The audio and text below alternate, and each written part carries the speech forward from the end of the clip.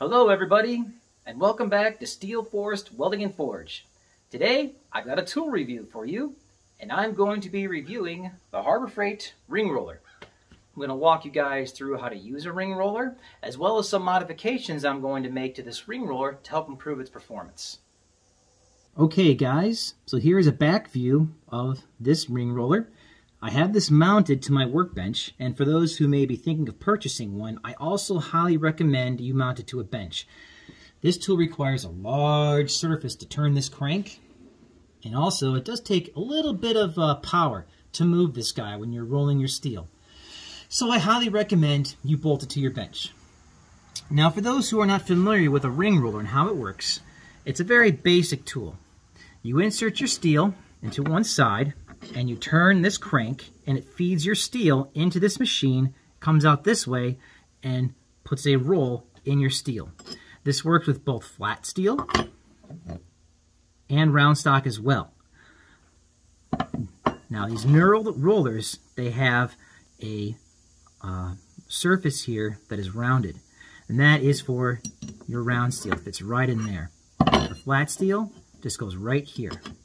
Now, the way this tool works is the closer the distance between these two rings here, the less your bend. So as you can see here, if I were to put this in now, and I crank this almost all the way down, you can see how that would go through here, pass through here quite easily without producing much of a roll.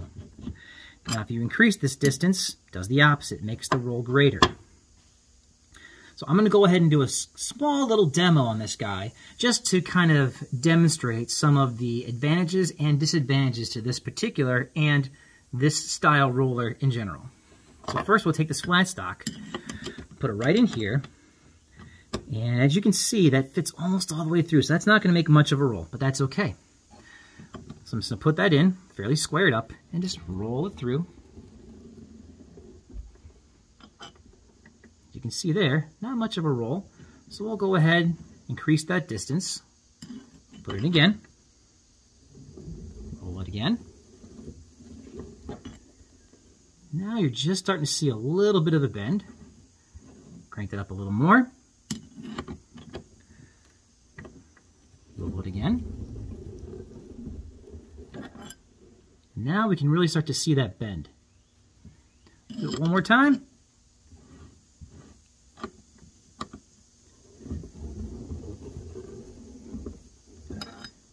Now that bend is becoming more and more clear. I'm to go ahead and pass this through a few more times really quick. Again, just to kind of demonstrate some of the advantages and the disadvantages to a tool that's this style.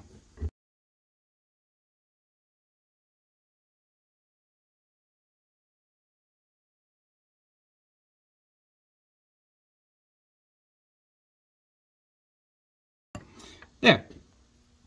Now, for the purposes for this video, that's me just fine. So as you may have noticed, when I'm rolling this, you kind of see how this wheel here really cranks when I do that.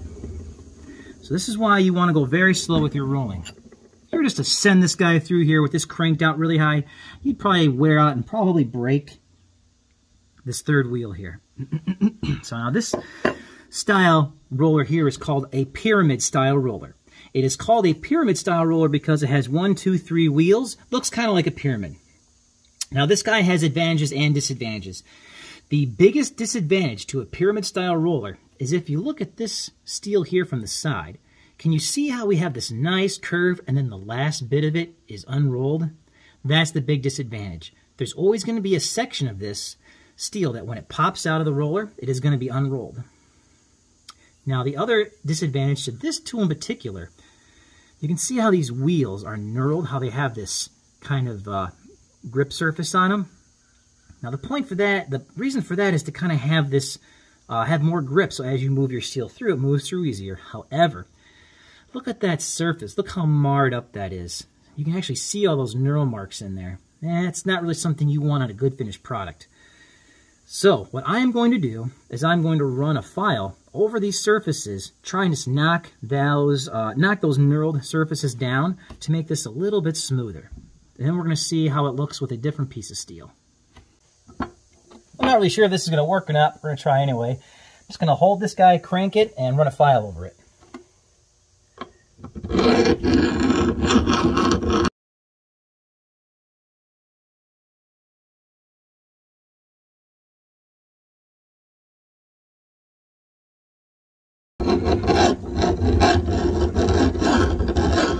I could use a grinder and do this.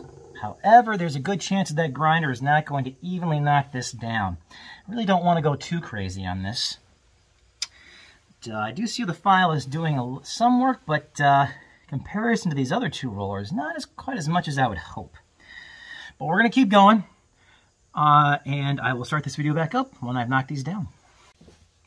All right, so just a quick update here. I was just running a file over these wheels. Didn't seem to be doing much, so I switched to my larger rasp file. However, I noticed it, it began damaging my rasp file. So whatever kind of steel this is, it's fairly tough stuff. So I'm to go from a file to a Dynafile that I have. This is a just, you know, it's a sandpaper. So if I ruin this belt, whatever, I can throw it away. Don't want to ruin my files. Those are expensive. So we're to try this again.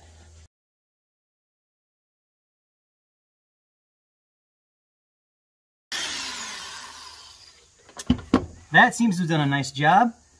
Knocked those down quite a bit. They're a lot smoother. I'm going to keep going with this, and I'll come back when I'm all done. All right, so I've got most of the knurling on these wheels knocked down.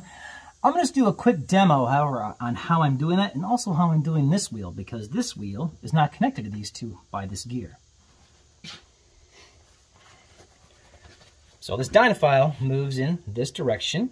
So I'm going to use that to my advantage while I'm cranking this. I'm going to crank this so the wheels move in the opposing direction so it kind of helps pull itself along.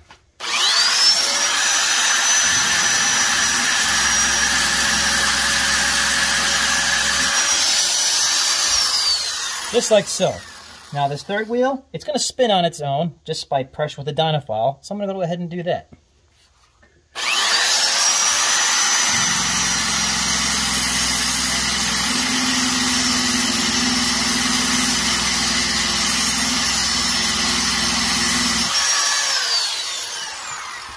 And that spinning action is going to help you put an even grind on all these surfaces.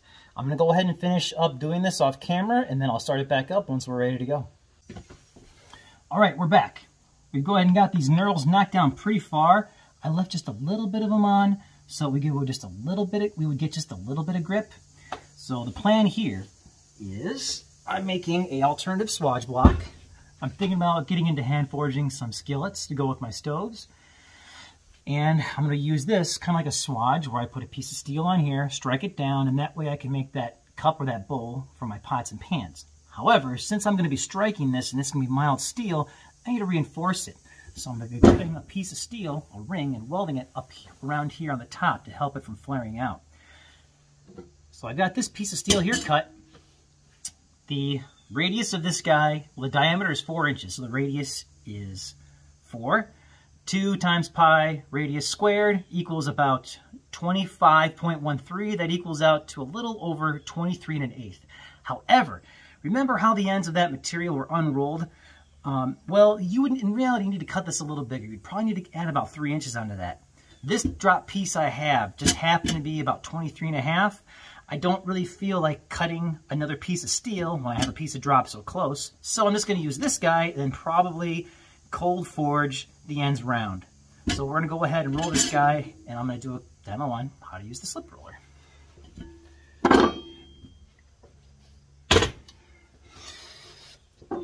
So we have this guy here. So it's just about flat. You can see here when I roll it, it doesn't really do a whole lot. Again, we want to roll this guy slowly. We don't want to do it fast. We want to take our time here to avoid damaging our tooling. Right about there, that's going to start putting that roll in there. Let's go ahead and move this guy out of the way. And when you mount one of these on your bench, be mindful of all, everything around it because you are going to need quite a bit of room to roll your steel.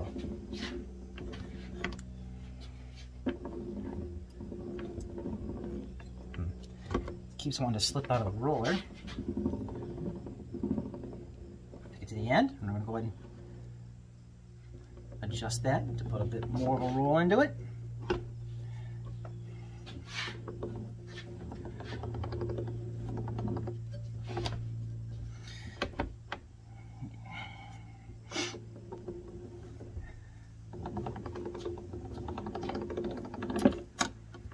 Tighten it some more.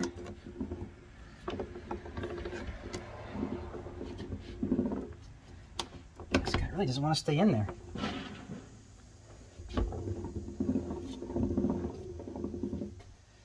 Guy keeps wanting to slip out. That is a problem.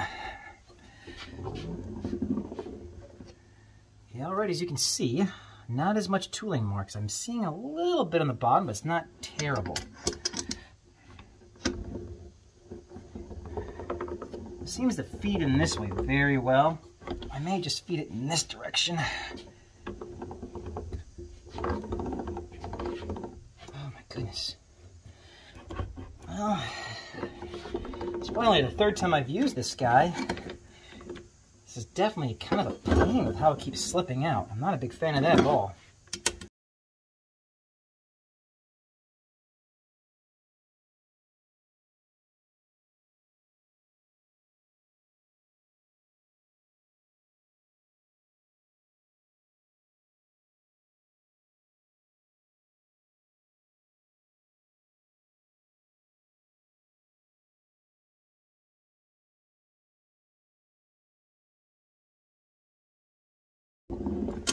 You see how that's starting to kind of twist like that?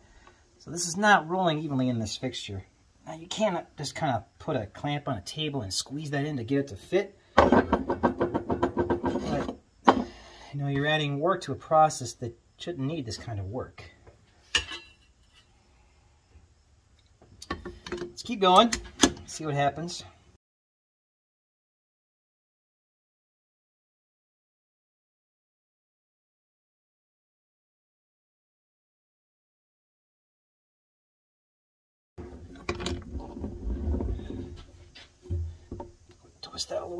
Back kind of in shape which needs to be.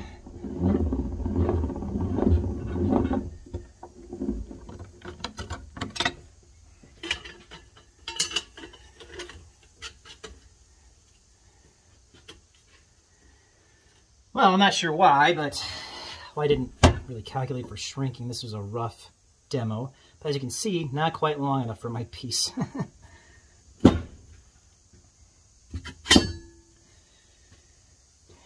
So as you can see there, got quite a twist in there. Not very happy with that. Now, almost all of those working marks are gone. You can still kind of see if it's a lot better.